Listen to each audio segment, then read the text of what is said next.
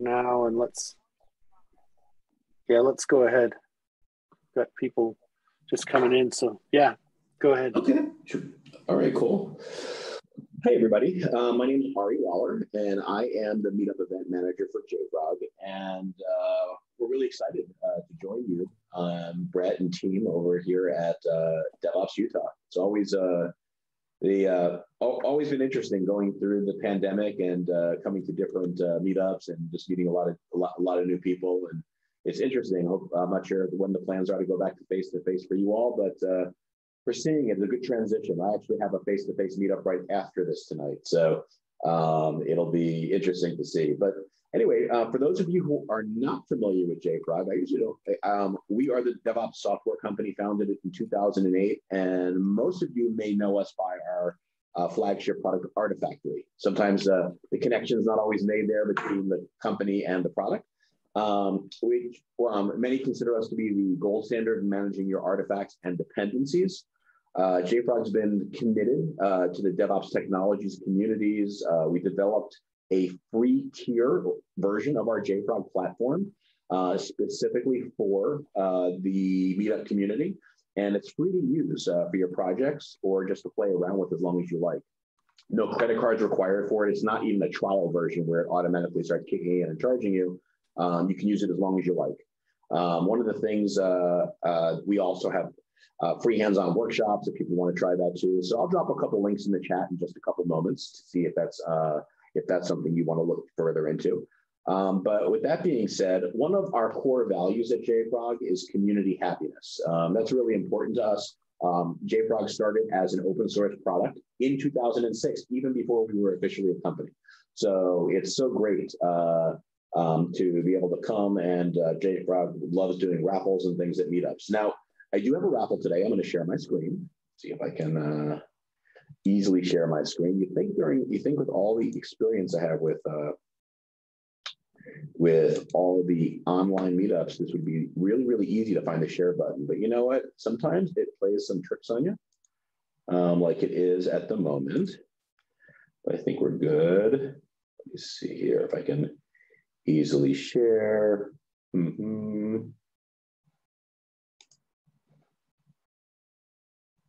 Gee.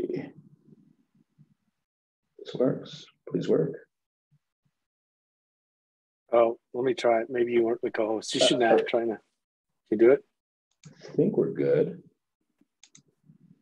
Ah, let's see. Yes. Okay, cool. Can everyone see my screen okay? No. Awesome. So what I'm going to do in that little predicament is I'm going to go ahead and think on my feet. And I'm going to send this over to you, Brett, if you don't mind sharing this really quick. Okay. Thank you.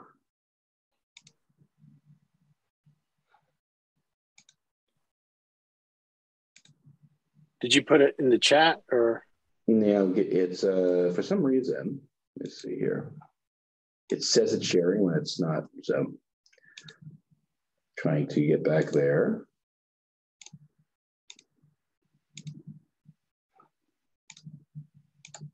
Come on.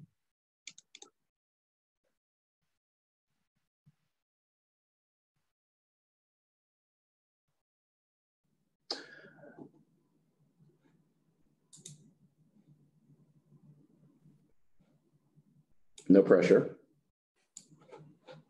Yeah, I just just see you.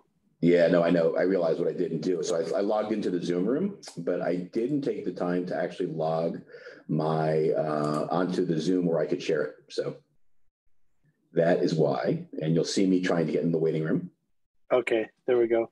Do you need me to? I'll make you the co-host from okay, that. Cool. Uh, Morning in progress. Turn myself on mute here. Good. So you can't hear me there. And now, am I echoing? No, but let me make you the co-host uh, so you can share. Okay. Now, now you should be able to share.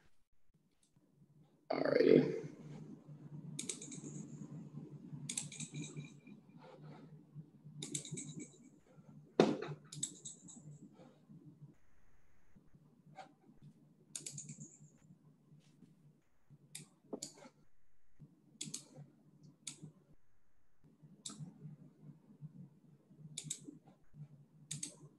Hopefully you can edit this part from the uh, video.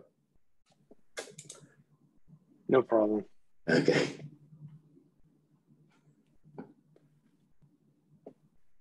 Okay, all this for a little bit of fun. So last time we did something a little bit more serious. We used an, I think we did an Amazon Alexa last time. This time we're going to do something a little bit more fun. Um, there uh, is a um, there's a lot of people I find in IT that enjoy Star Wars. So we're going to give out a little bit of a Star Wars toy today.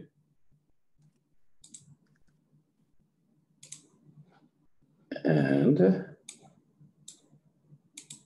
officially, here we go. So uh, for, for those who are Star Wars fans, you may have already started watching the uh, book of Boba Fett. Um, and we have a Boba Fett you get the screen up better so you can see it. Yeah, it looks a little truncated. I don't see the. Yeah, let me see what the problem. It's it's on me, I think. Here. There we go. Is that better? Yes. Yeah. All right. Wow, that was a. You know what? I've done this a couple hundred times, and this has been the. This has been the. This has been my most difficult one. So thanks for bearing with me, everybody. Um, so in this, um, it, you, everyone has a chance to enter a raffle to win the a Star Wars Lego helmet set for those who are present today. Um, a winner is going to be selected within three business days after the meetup and contacted by email, so you can formally claim the prize and uh, we can send it out to you. Uh, because compliance purposes, I'm not able to do the live drawing I would love to do over the web. Um, but that being said, it's just a way of JFrog likes to share a little bit of community happiness with everyone else. So um, what I'll do is I'll share this. I'll, I'll, drop the links in the chat too, if it's easier than the QR uh, for the QR code. I have built this set before. I have about 50 different Star Wars Lego sets at home. Um, this is definitely one of my favorites. Boba Fett's obviously a pretty important character in the whole series. And I'll go ahead and drop uh, that along with the uh, uh, free software links in the chat in just a few moments. And again, thanks for having Gowtham and I here in your community. And um, we really appreciate it. So I'm going to turn it back over to you, Brett. Thanks, Ari. Um, yeah, appreciate that. Yeah, if you can share that. I also took a screenshot of it. So sure, I'll, I'll actually get the, I'll get that I'll get that over to you um, in just a, in a couple of minutes in the direct messaging. Okay. All right. Thank well, you. Great. Yeah, we appreciate everyone attending and JFrog for presenting today. And Gowtham, uh, Gowtham's going to present on open source security and compliance monitoring and gatekeeping. And I, you know, as more and more of us use open source software all the time and always getting those updates on vulnerabilities, we know this is just a really key key subject because I think some people think, oh, look, I've got this free software and everything's great, and not understanding that they're actually introducing some vulnerabilities. So with Gowtham, uh, with that, Gowtham, let's turn the time over to you to present. And we go till, you know, about 650, maybe question and answers at the end. Uh, or however you want to do it. If you want, if, if, if there's questions during, do you mind having questions during your presentations? And Andrea and Tiffany and I can kind of field questions as they come up. Is that okay? Yeah, uh, please feel free to put them on the chat because uh, uh, right now it is very noisy here. Uh, I know uh, uh, I might not be able to catch all of them, but I will pause for every seven to 15 minutes to see if there are any questions in the chat and answer them. In that way, I can be on the track for the time that is allocated. Okay. Yeah, that, that sounds great. And we'll, as they come up, we'll we'll don't worry about reading the chats. We'll read them and then fill the questions to you, so you don't have to. Oh, okay, you know, perfect. You know, a multitask there. So go ahead. Thank you. Okay, thank you. So first of all, uh, thank you for providing me this uh, opportunity to present uh, some of the ideas that I have and uh, the findings that I have in the field. Uh, about OSS security uh, and compliance monitoring. So uh, just a quick background. My name is uh, Gowtham Neerukonda. I work as a solutions engineer at JFrog. Uh, basically, I'm a very passionate engineer and uh, always wanted to learn the stuff around me, how the technology works. And at the same time, I, I derive a lot of pleasure in sharing my uh, knowledge with others as well. And uh, that's how I ended up in the sales uh, uh, uh, team at JFrog. And again, today I would like to present you with some of the common patterns that organizations employ in order to monitor the open source components as well as their software supply chain and see how can how they can enforce certain gatekeeping capabilities uh, around these OSS components. So I'll keep it very basic and uh, introduce you to some of the uh, terminology aspects as well. And then uh, we'll move on to the ways in which organizations are trying to uh, protect their software supply chain. Uh, so coming to open source components, as you might be aware, nowadays any organization that is developing software uh, to stay competitive or to make sure that they release faster uh, to the market, they rely on 85 to 90% of open source components on top of which uh, they build uh, their business logic.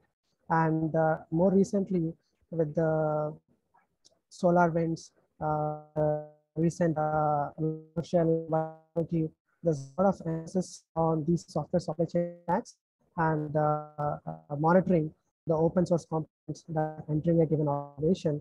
And of course, if you look at uh, DevOps, it's all about collecting the feedback at every stage and automating the process of collecting the feedback and uh, deploying the software and developing the software that your end consumer can uh, seamlessly access.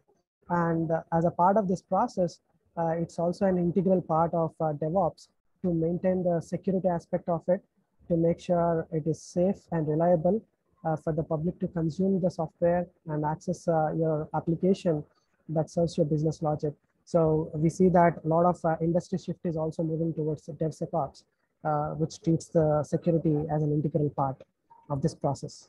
So again, uh, as a as a part of this uh, talk, I want to make sure that you are empowered with some of these basics and you get to apply these in your day-to-day -day uh, DevOps workflows as well uh, on how to monitor these uh, OSS components. Now, coming to the problem statement, the basic way in which any organization consumes an open source component is either from a public registry like GitHub or NPM Central or sorry, NPM registry, Maven Central or JCenter, GoCenter. Uh, there are a lot of uh, public registries, uh, Docker Hub that serves these open source dependencies.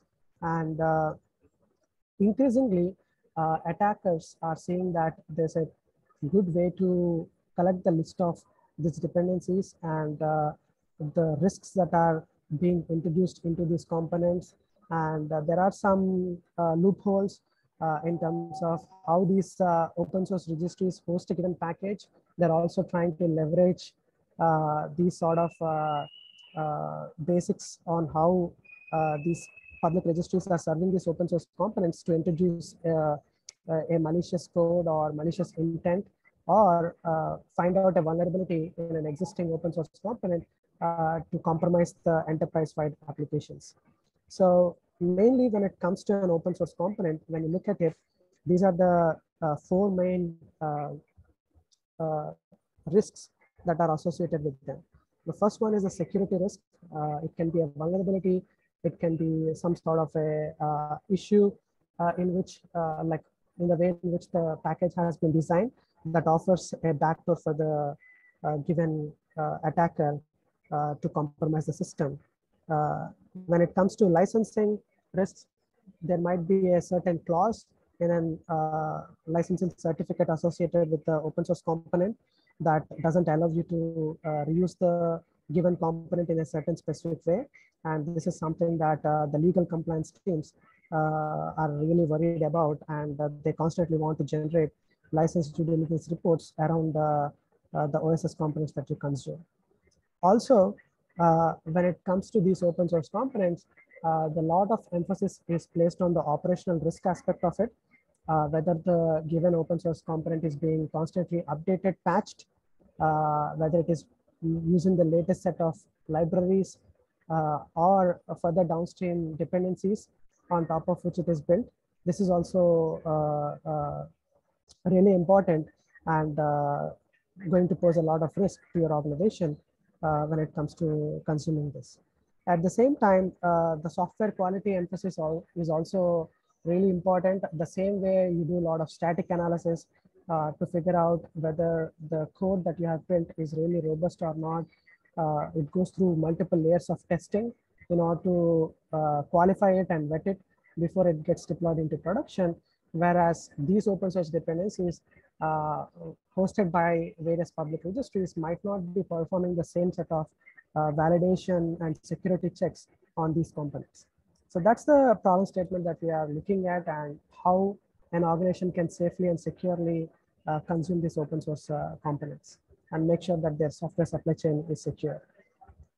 Now, one of the main solution that you can employ, uh, which we are going to talk about today, uh, it's called software composition analysis or an SCA tool. Uh, at a basic level, what a software composition analysis tool does is it basically inspect the package uh, depending on the type of packaging technology, whether it is Docker, NPM, Maven, NuGet, PyPI. Each of the packaging technology has their own set of uh, standard in maintaining the list of dependencies uh, and providing that uh, as a resource or a generating the SBOM out of it uh, is completely different in each of these packaging technology. A software composition analysis tool can solve this problem by detecting the package type and also uh, detecting the type of open source components that are present underneath it. Once this software bill of materials is available for a software composition analysis tool, it validates this list of components with a publicly known trusted vulnerability intelligence platform or a vulnerability database that constantly gets updates from security researchers across the globe on what the new set of uh, package feed uh, has uh, has been detected with any new set of vulnerabilities or new licensing issues or any operational risk. So these publicly available uh, vulnerability databases have this information. So at a base level, software composition analysis tool is trying to list out these open source components and make sure uh, if there is any vulnerability associated uh, so let me pause here and if there are questions. Uh, so I see there are none. Let's proceed. Uh, please feel free to uh, pause me for any questions as well as post them in the chat. I'll be happy to help you with this, uh, info, uh, like uh, with providing the responses in line. Now, coming to the vulnerability and threat intelligence feeds, there are multiple nuances here, but at a base level, I would like you to be aware of uh, the NVD database. This is a common central DB. Uh, it is an open source DB, publicly available, open to anyone to access it. Uh, it's called National Vulnerability Database. This is uh, constantly being monitored and maintained and updated by community across the globe. And uh, there's also something you might be commonly hearing about called CVE and CWE. This is a designation uh, that uh, a certain vulnerability uh, will be assigned when it, when it is found in a given open source component, which also has some additional details. keep in mind that not all vulnerabilities will have a CVE number associated with them. There might be a recently discovered uh, vulnerability that is yet to be designated under a certain uh, CVE identity as well. Uh, so why are we talking about vulnerability databases and their importance? Uh, here, the quality of an alert that is generated by an SCA tool mainly relies on the quality of the DB feed that it is integrated with.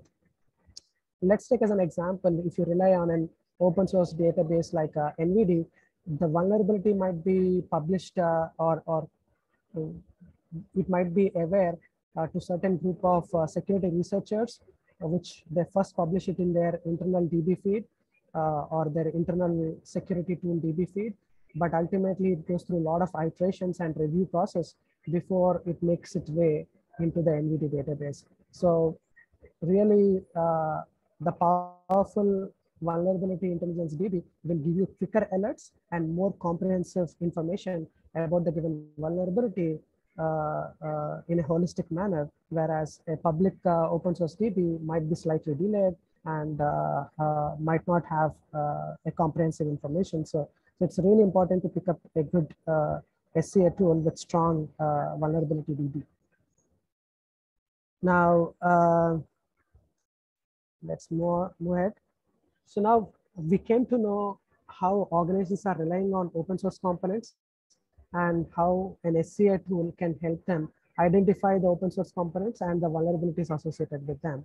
Now, what are the approaches using which you can introduce these SCA tools into your organization? It varies uh, between multiple organizations and uh, the way in which you introduce the tool uh, also uh, mainly depends on uh, your security emphasis, where it is starting in your DevOps uh, workflow, whether it is starting in the prod and shifting left, or whether it is starting in the left at the dev environment and shifting right towards your production, right? So I have collected various uh, uh, information points uh, based on my conversations with customers, prospects, and DevOps practitioners and security practitioners, and boiled it down to these three approaches that we see here. The first one is the main entry point for any dependency to enter your organization, which is the dev environment. Primarily, uh, coming to the workflow here, we'll be seeing that the developer uh, relies on certain ID environments or a local build environment. Uh, they compose the code and uh, this code will be pulling in a lot of dependencies from the internet or from the public registries. So usually this calls will happen from the local build environment to the public registry. And once these uh, dependencies are resolved, uh, the developer performs certain quick tests uh, locally before they commit the changes into the version control system. In this case, this is very good to start monitoring and enforcing an SCA tool in the development environment because shifting left will save you a lot of uh, money and time. And uh, if you imagine a situation wherein a given build or uh, software package is ready to be shipped to production in the next few minutes and you found out that there's a critical vulnerability uh, that is highly going to impact your organization, it's uh, really going to cost you uh, a lot. Uh, the, the release will be delayed. Uh, your customers will be impacted. Your business will be impacted. There, there might be a revenue loss uh, as well. But imagine a situation wherein the same vulnerability is found in the first place when the developer declared it in the first time in their local build environment. It, it consumes very less time and very less effort to address it. So in this case, uh, these are the benefits that you're going to get, as I mentioned. And this is also a good visibility point as well. Uh, some of the sample tools that are available in the market uh, for you to uh, address or, or empower your developers with a feedback loop uh, on what sort of uh, dependencies that are that they're consuming and uh, the vulnerabilities and licensing issues associated with them is uh, some sort of ID plugins, uh, they have certain CLI uh, based tools that can provide a quick uh, report on what sort of uh, OSS components are present. some of the tools can also integrate with the source code repositories and can scan the source code to list out the dependencies as well as create pull requests with the fixed versions of dependencies that are uh, found uh, available in the public registries and create a uh, pull request so that you can quickly merge it uh, and uh, address the given security vulnerabilities. So these are some of the tools that are available. one quick advancement that you can also make in this case to better monitor the dependencies in this case is by employing a binary repository manager like uh, JFrog Artifactory. Uh, so here, by having a binary repository manager, you are not only just uh, scanning these artifacts and providing a feedback to the developer, but every call that you are making to the public registry are now proxied through the Artifactory's remote repositories. So this is something that a unique uh, capability that uh, any binary repository manager uh, can have. Basically, they perform an on-demand proxy caching of this public registry. So now any call that the developer tries to make for a given dependency, it will be going through the given binary repository manager and the binary repository manager checks the cache in the first place. If the given dependency is not available, it will pull it from the internet.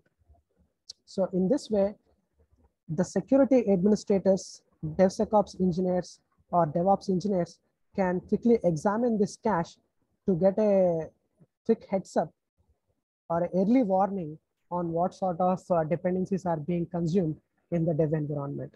And uh, the other advantage is you can also create security, licensing, and operational policies, which is a common way in which an SCA tool offers you to do automated DevSecOps gatekeeping. And uh, some of the powerful actions that you can perform at this stage is sending email notifications to the developer, to the security administrator, to the policy editor uh, that is responsible for the given policy, like an auditor. You can also block the download or consumption of a given artifact so that it stopped, like uh, the consumption is stopped and it cannot enter your organization. You can also create JIRA tickets so that uh, you can have an automated curation workflow. A security administrator will examine the dependency, see if there are any available alternatives, recommend the developer to switch to a different version. Uh, lots of ways in which uh, uh, these kind of events are triaged. Again, this is completely specific to each organization. So that's why uh, I'm not saying any specific best practice over here, but enforcing the policies and having a binary repository manager caching these dependencies will greatly help you. Uh, again, uh, a quick heads up, uh, the JFrog platform do offer Artifactory as a binary repository manager and Xray as an SCA tool. Uh, this is something that uh, we also support. Okay. Now, hey, Gowtham, I, I just had a question while we're there. Is so does it do that in real time? So if you had if you had like JFrog or or a Nexus or some repository as a cache mechanism, and so let's say a developer is doing a adding something, doing a Maven build, adds it to their POM file, and and we use that as a a, a proxy. So it goes to to that repo first. It doesn't find any cache, so then it goes to maybe a public repo. When it brings it in, will it scan it there in real time or will it have a catalog of vulnerabilities or is that something after the fact that the developer would get it right then and then somewhere later after some scans you'd be notified of hey there's a vulnerability in this new dependency you just added so it can scan in real time so of course you need to make sure that Xray has that bandwidth for example the SCA tool that is performing the analysis should have that bandwidth. Uh, and uh, ideally, I would recommend having a dedicated SCA tool for the dev environment because your CI/CD transactions is another big behemoth that you need to be dealing with. So if you really uh, don't want to halt the developer from consuming the given dependency and still want to intercept the call in real time, uh, you have to employ the SCA tool inline and it can perform the scan in real time. So for example, in our case, we have two options, uh, block download, and at the same time, there's a submenu called block unscanned artifacts as well. So to your question, uh, block download can be only enforced on existing artifacts that are already scanned uh, uh, and are already available in the cache keep in mind that if a given developer pulls glibc 2.0, uh, it will be available in the cache. Now, a separate team in a separate uh, view requests the same dependency. Uh, that specific dependency is already available in the cache, which will be readily served. And the specific Xray scan is already done. And uh, you can quickly leverage or reuse the, scan, the same scan result. Of course, I see that this is also something that uh, uh, uh, security practitioners greatly love because uh, if you just give one-time exception, there's a good chance that the same dependency will appear again in CI or testing phase. And as I said, as you move towards the right, it's much more time-taking and painful process to address the given vulnerability. So I have seen a lot of practitioners uh, supporting this option as well. And this is where I would say the industry is also moving towards. Okay. Okay, great. Thank you. Now, let's go to the quick basics of what a security policy and licensing policy might look like. So to your question, like, hey, does it already know the vulnerability signatures or does it already know what type of action it needs to perform? So as as I mentioned, the SCA tool will have uh, information from the vulnerability DB sources. And mainly when it comes to security policies that you can define, which are the rules that dictate what type of action and what type of alerting that needs to take place when a given vulnerability is detected, they use these two yardsticks to determine the criticality of it. So the first one is a standard called CVSS score V3. Uh, this is the newer standard. In this case, it will give you uh, the criticality level of a given vulnerability from 1 to 10. 1 being uh, uh very low impact and 10 being the most uh, impactful for your organization. Same way, if you prefer to have a different sort of uh, mechanism or a selection criteria to declare given policy in an SCA tool, you can go with low severity, uh, medium severity, high severity, or critical severity, right? So again, these policies can be global, which is a one policy that can be applied for all the teams, or in some cases, it can be a team specific or repo specific or uh, application specific policy as well, okay? Same way, when it comes to the licensing side of things, uh, you will have a similar uh, set of criteria. In this case, uh, basically the SCA tool will be presenting you with uh, a list of allowed licenses or list of banned, uh, disallowed licenses that you don't want to use in your organization. These two aspects are completely dictated by the legal compliance teams. Uh, generally speaking, the SCA tools do not have any specific recommendation here because in some organizations, certain licenses are deemed to be permitted, whereas the same license clauses might not be liked by the legal compliance teams. That's why this is uh, something that uh, uh, the legal team should uh, be closely watching around and uh, uh, dictating in your organization. Same way, here we have global and team specific policies. When it comes to the automated actions, you might say that, hey, if the given component is found with a RBSD license, I want to block it. If a given component is found with an Apache license, I'm good with it and it can be allowed in the organization, for, for example. So you can define these policies and uh, make sure that the SCA tool can enforce it uh, and uh, make sure that your uh, supply chain is uh, safe. Now, let's take a look at the second approach. Now, once the given uh, dependency or sorry, once the local build is successful, the developer might push the changes into the version control system. Now you have your CI tool or an automation build tool that gets triggered nightly, hourly, uh, or based on a commit uh, webhook.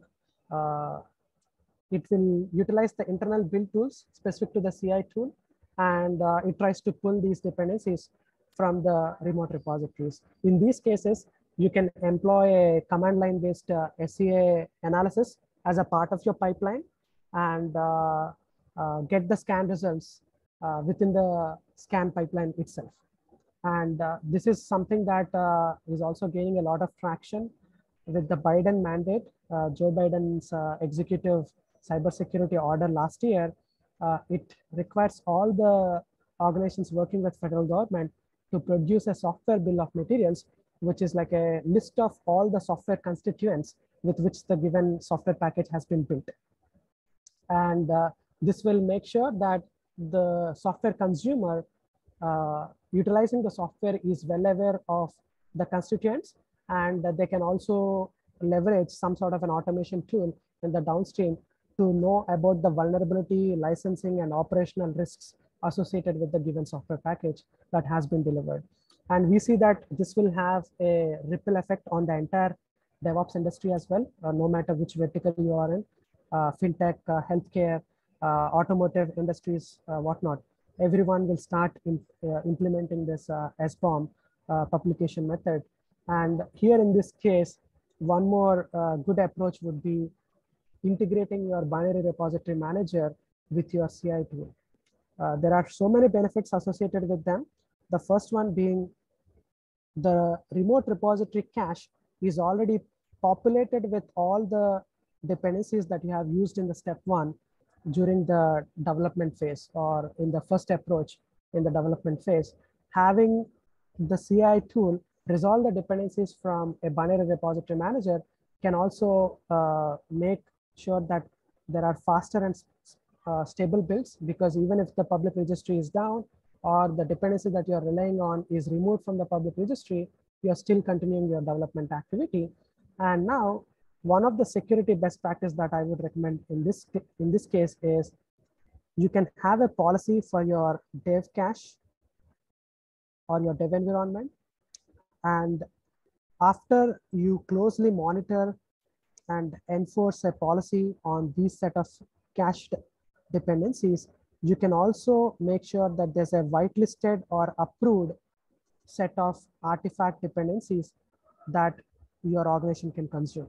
So now your CI tool should only point to the whitelisted libraries or curated libraries so that starting from here, this is the main entry point in like of these software components or OSS components, they can make their way into your organization, into your proprietary software. So this is the first and uh, good place uh, to enforce that uh, uh whitelisting and uh, curate the dependencies that you are consuming.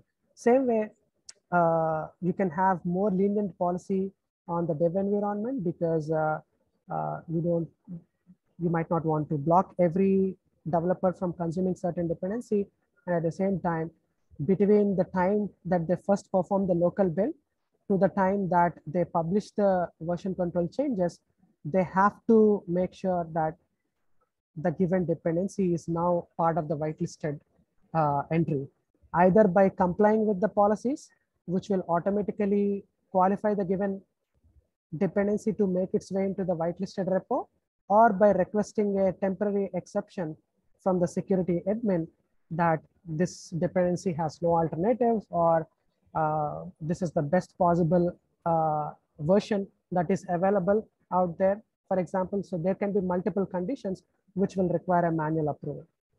Okay, so this is how you're also securing uh, the set of dependencies your CI tool can consume and also making sure that the, it is faster and more reliable. And one another advantage here is that some of the uh, uh, CI tools as well as binary repository managers will give you an option to enhance the SBOM by collecting the system environment variables or toolset that you have used to create the given build because the same source code might not produce the same artifact if you build it again due to varying build conditions or due to varying transitive dependencies. So you should always enhance the SBOM by working with the CI tool as well as the binary repository manager uh, to make sure even the transitive dependencies are collected during this process. For example, in case of JFrog platform, we give you a CLI tool to collect this information, but I've seen that a lot of other CI tools as well uh, have some kind of an integration or a plugin uh, that can uh, perform this uh, enhancement. So hey, these are hey, Gowtham. Um, yeah, can I jump in? Sorry, I was yeah, waiting. Go ahead. There. Yeah, go ahead. Um, so I have kind of a question here. We we talk about throwing this into the CI build. That's great. In my experience working with like GitHub and stuff, a lot of the CVEs that are issued for dependencies like are not particularly relevant. Is there a good way?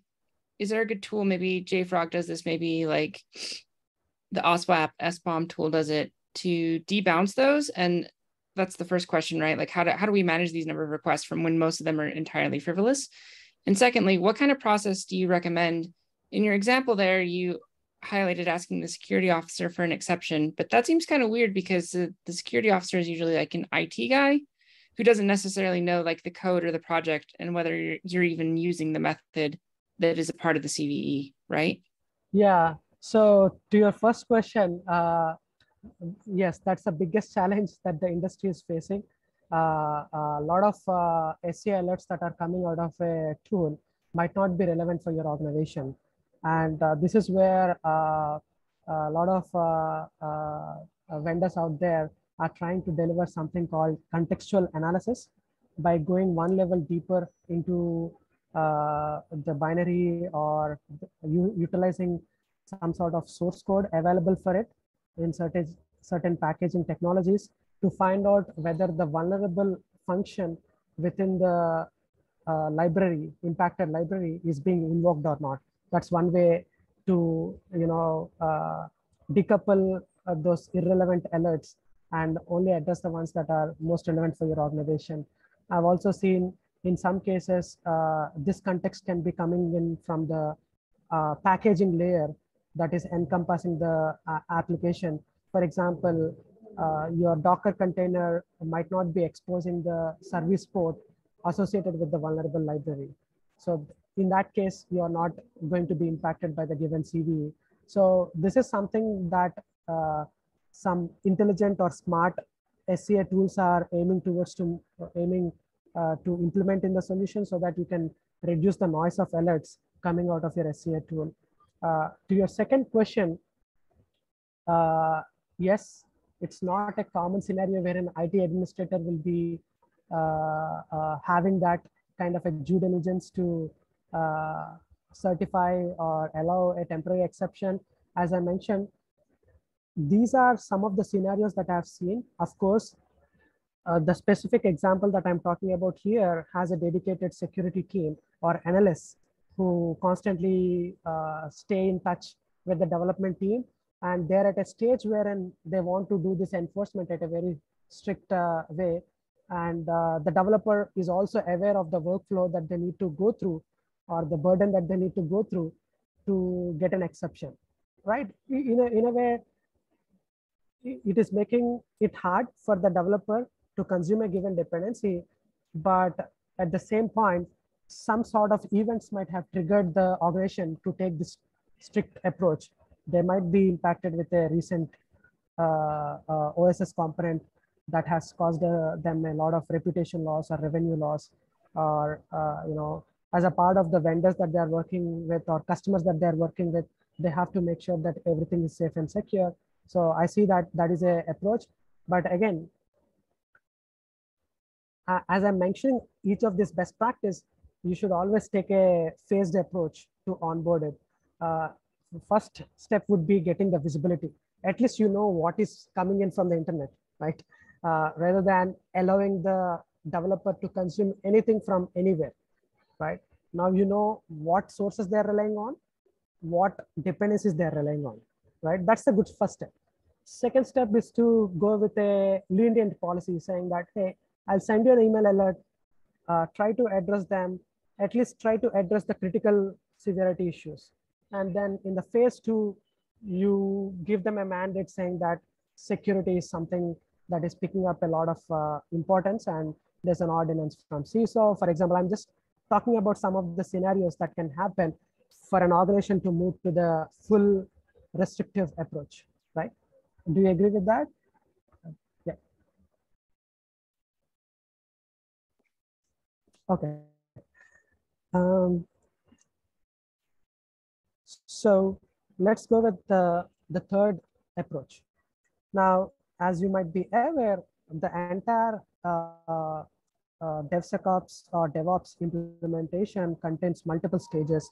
And at each stage, uh, the given software package or application goes through certain set of tests or vetting or qualification uh, that makes it eligible to move to the next stage in the DevOps lifecycle. And uh, DevOps is all about feedback as we talked about. And at the same way, security cannot be a, or, or a software composition analysis scan cannot be a snapshot one-time scan uh, that allows a given component to be utilized in your organization. We have seen just now on, on how to secure the dev environment and how to secure the CI environment.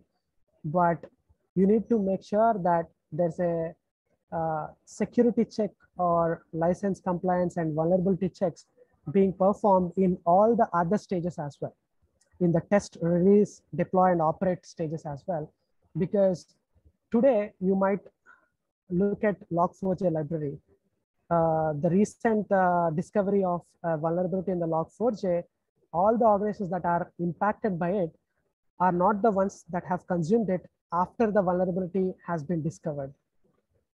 It was supposed to be secure or assumed to be secure two years ago, five years ago, 10 years ago, and uh, people started consuming it.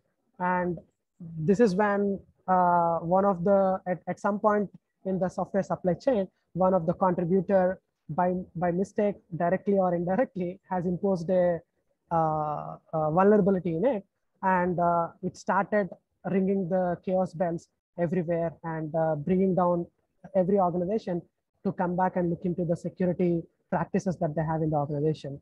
So today you might certify a given library or artifact to be qualified to be utilized in the dev environment and the CI environment, but there's no guarantee that down the lane, by the time it is getting released or running in the production, it might not stay secure the same way.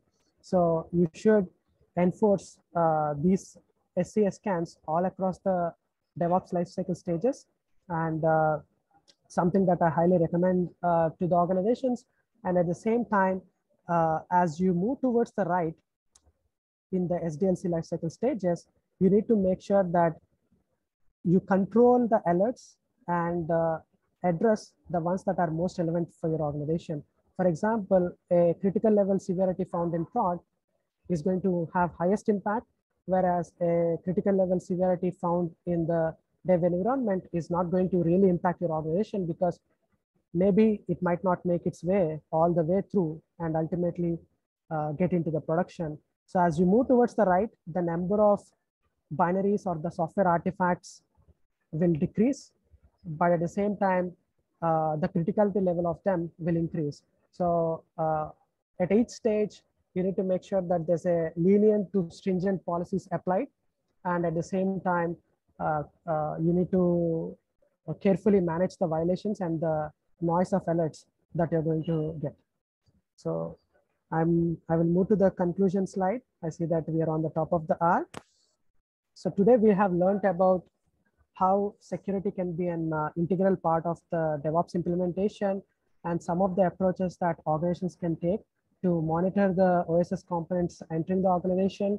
And we have learned some basics uh, of what an SCA tool is, what a vulnerability intelligence DB is, some of the terminology associated with it, and the security and licensing policies, how they look, and uh, what are the best practices in implementing these tools uh, in your organization. Thank you.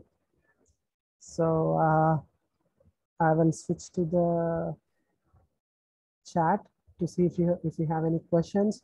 And uh, Brett, let me know if you want me to take these questions offline or can we spend a few minutes answering the questions on the chat?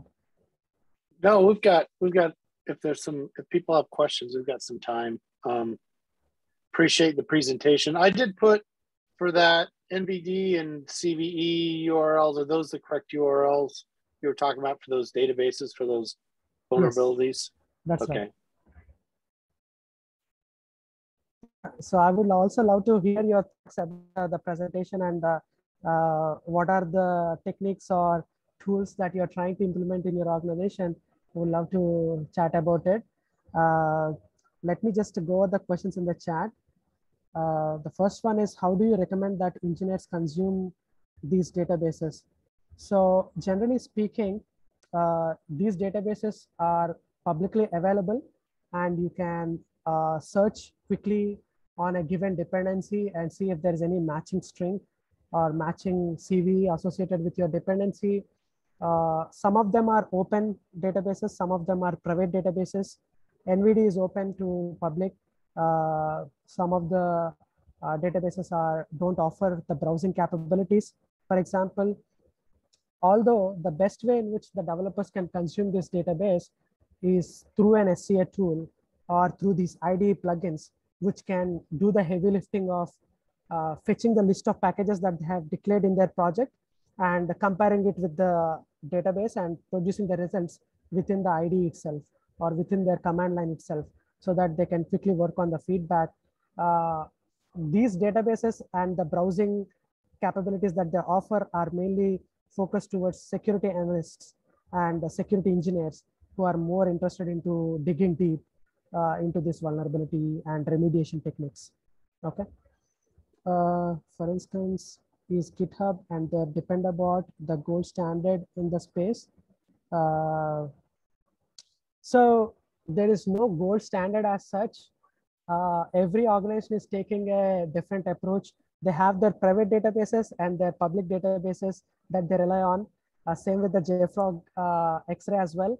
So right now, uh, big big companies like Google uh, and some of the foundations, uh, cloud native uh, foundations are looking to build a standard around this, standardize the way in which the developers can consume a package and standardize the way in which these uh, vulnerability databases are main maintained. One of the popular one is SLSA standard or SALSA standard that is proposed, proposed by Google.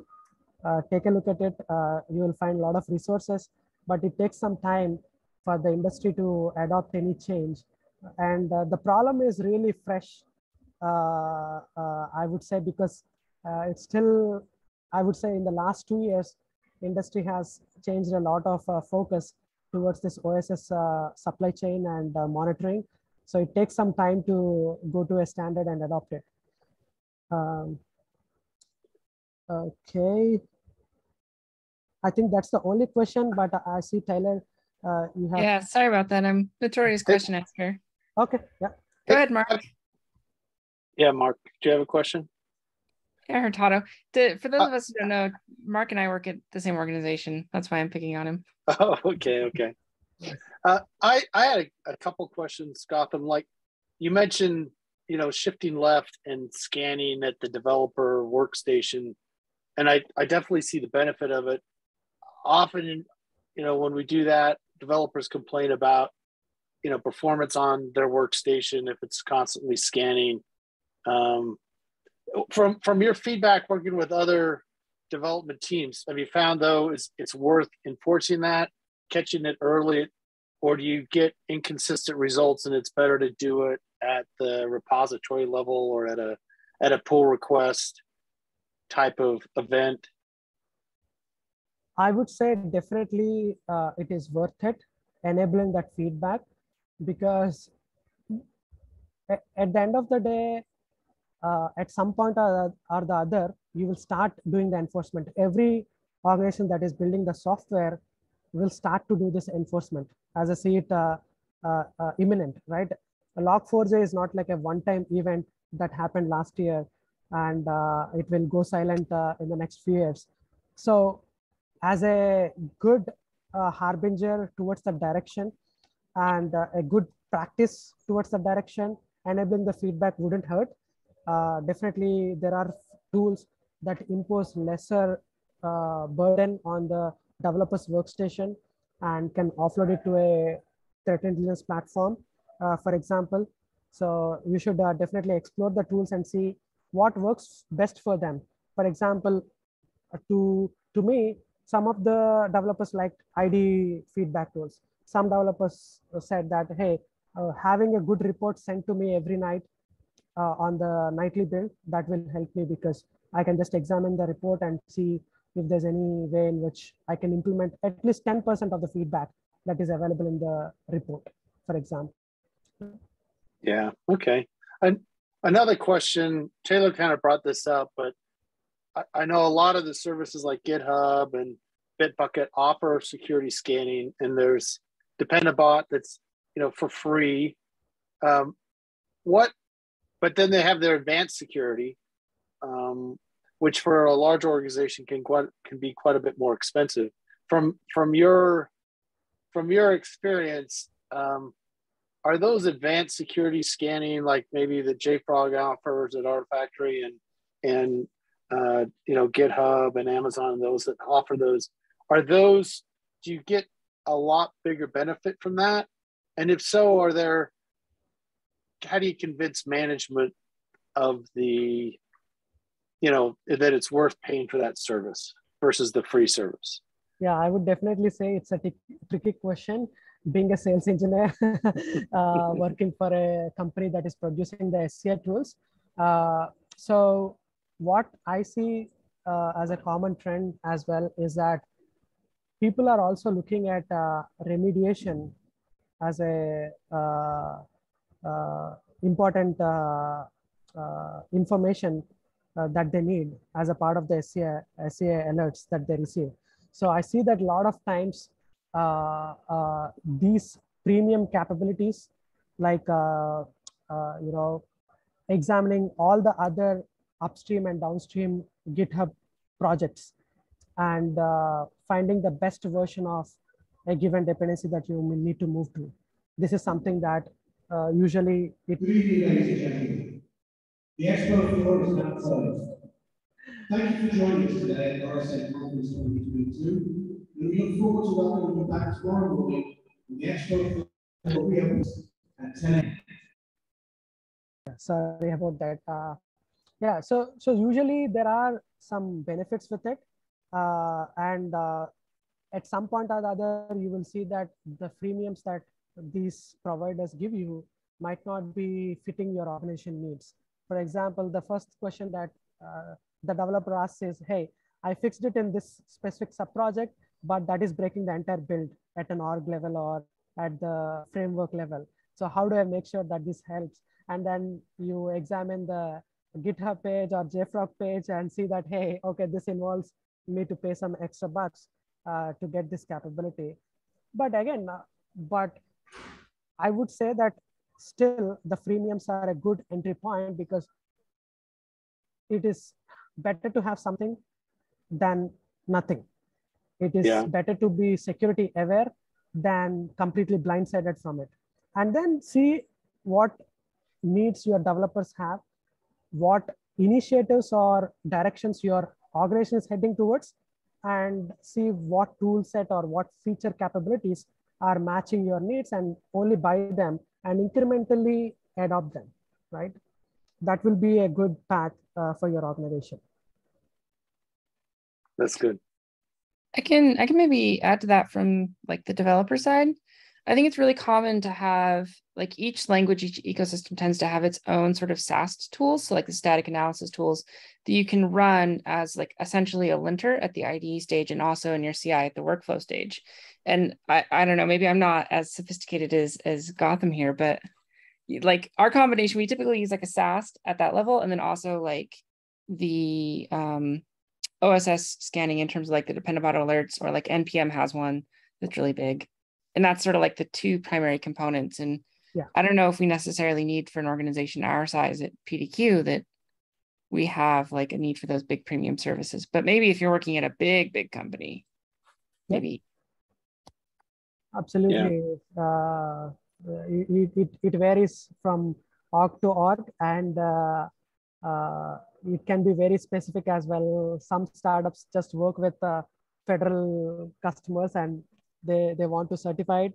Uh, so again, uh, uh, it, it, it really depends on your use case. Yeah. And usually there's a complementary solution to an SCA tool, uh, which is the SAST tool that uh, analyzes the custom code vulnerabilities, whatever the vulnerabilities that are present in your own code, it can it can detect them and showcase them. Whatever the vulnerabilities coming in from the open source dependencies that you're using uh, is something that the SCA tool or software composition analysis tool can flag. And you need both, right? You need to make sure your, your proprietary code is safe, your uh, open source dependencies are safe, which will make your software safe. Yeah. Great. Okay. Uh, Are there any other questions for the group? If not, we're we're out of time. But Gowtham, we sure appreciate you taking time out of your conference to speak to us tonight, and uh, uh, appreciate the uh, everyone get the link to to enter that raffle for the Lego helmet. Um, you have a good chance of getting that, and then uh, just an announcement again. We're we're going to do these every month. We're planning on a conference uh, a year from in 2023. I think we're shooting for May of 2023, but we're going to keep doing these each month. Um, if there's anyone, if you know someone that would like to present, we always like to get local presenters too. If there's a tool you're using or process you're following, or you just want to kind of show show something you're working on, uh, this is a great, great, great audience to present to, and we have a pretty large mailing list that we can can uh, remind people to attend. So uh, we just encourage you to to be a presenter. Let us know, and thanks again for everyone coming today. And uh, thanks again, JFrog. And we'll see everyone next month. Thank you, Brett. Thank you, everyone. Thanks, everyone. Bye-bye. Bye.